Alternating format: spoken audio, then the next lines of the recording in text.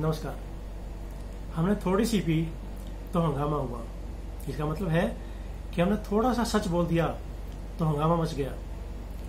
और दूसरा आदमी झूठ बोलता गया तो लोग उसकी प्रशंसा करते रहे। यानी कि सच बोलने वाले आदमी की कोई वैल्यू नहीं है।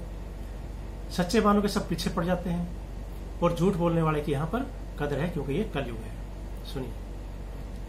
हमने थोड़ी सी पी यानी थोड़ा सच बोला हमने थोड़ी सी पी तो हंगामा हुआ और उसने बोतल चढ़ा ली तो कुछ ना हुआ। उसने बोतल चढ़ा ली तो कुछ ना हुआ। हमने थोड़ा सच बोला तो हंगामा हो गया। उसने झूठ पे झूठ पे झूठ बोलता गया उसका कुछ नहीं बिगड़ा। हमने थोड़ी सी पी तो हंगामा हुआ, उसने बोतल चढ़ा ली तो कुछ ना हुआ। हमने पैसे से पी ना चोरी किया, उसने चोरी से पीकर हंगामा किया। हमने पैसे से की पी ना चोरी किया। उसने चोरी से पीकर हंगामा किया कि उसका झूठ भी चुराया हुआ था। दूसरों ने झूठ पकड़ लिया, आगे झूठ फेंक दिया। हमने पैसे से पी, ना चोरी किया। उसने चोरी से पीकर हंगामा किया। हमको गाली मिली, उसका कुछ ना हुआ। हमने थोड़ी सी पी तो हंगामा हुआ।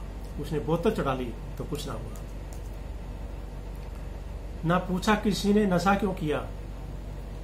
जिसने भी देखा, मेरे जड़ दिया। किसी ने ये नहीं पूछा कि भाई तुम सच क्यों बोलते हो? तुम भगवान के रास्ते पे क्यों चलते हो? तुम ज्ञान विवेक के रास्ते पे क्यों चलते हो? तुम सच विश्वास के रास्ते पे क्यों चलते हो? बस सच मैंने सच बोला और उसने मेरे जड़ दिया। ना पूछा किसी ने नशा क्यों किया? जिसने भी देखा, मेरे जड़ दिया। और वो पीता रहा, यानी कि वो झूठ बोलता रहा, या हंसता हुआ।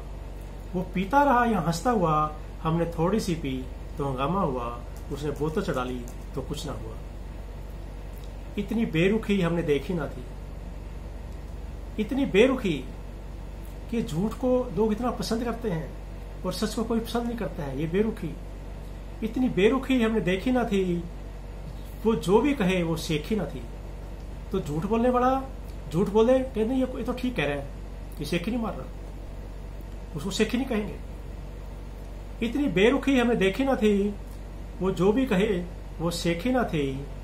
नशे में थे वो, फिर भी बाबा हुआ। वो झूठ बोलने वाला, वो था सी नशे में तो और उसका था बाबा हुआ। नशे में थे वो, फिर भी वावा हुआ, और हमने थोड़ी सी सच बोली, यानी हमने थोड़ी सी पी तो हंगामा हुआ। हमने थोड़ी सी पी तो हंगामा हुआ। उसने बोतल चढ़ा ली तो कुछ ना हुआ।